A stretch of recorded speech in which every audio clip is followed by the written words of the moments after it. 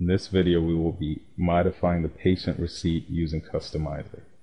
You can access Customizer by going to File, Setup, Customizer.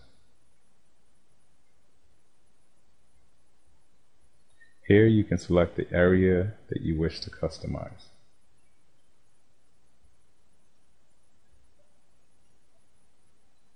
The patient receipt is broken down into four sections that are then applied to a master customization.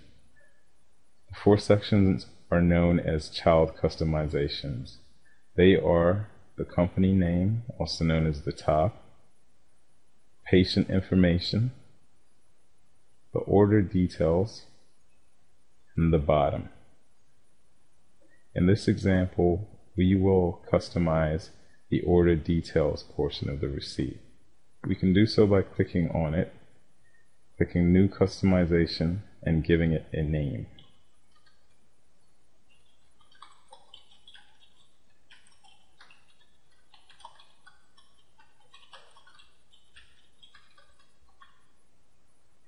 Once we hit OK, the customization will load in a separate tab. For this example, we will move this information that shows the patient's savings over to the left side of the receipt. And we can save these changes. Next, we will need to go back to the Manager tab and we will need to create a customized master patient receipt so we can apply that child customization to it. Here we can again click new customization and give it a name.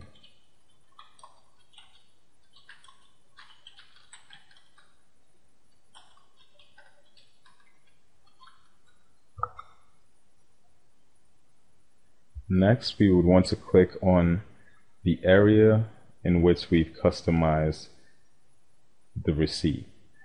In our example, we customized the order details section, so that would be the third section shown in this master customization. We can click on that section and on the right side or control area you'll see the option to choose a customization for this report. If we click on that and click on the drop down we'll see any customizations that are available for this child customization area which we've clicked on. So we see the one that we just created and we'll select that one and hit OK. We want to save these changes by clicking on the Save button and then we will need to go back to our Manager tab and click on Affect Customizations. Here we can specify which security groups this customization will be available to, and we can also default it to certain security groups. We can also make it the default for every security group by clicking on Default All and then hitting OK. With receipt customizations, it's advisable to sync the customizations. To do so, click on Tools and then click on Customizer Maintenance. Click Yes on the prompt and this will process the customizations and synchronize them.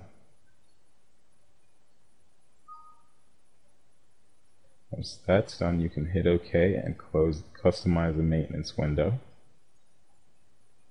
And now we can take a look at our patient receipt.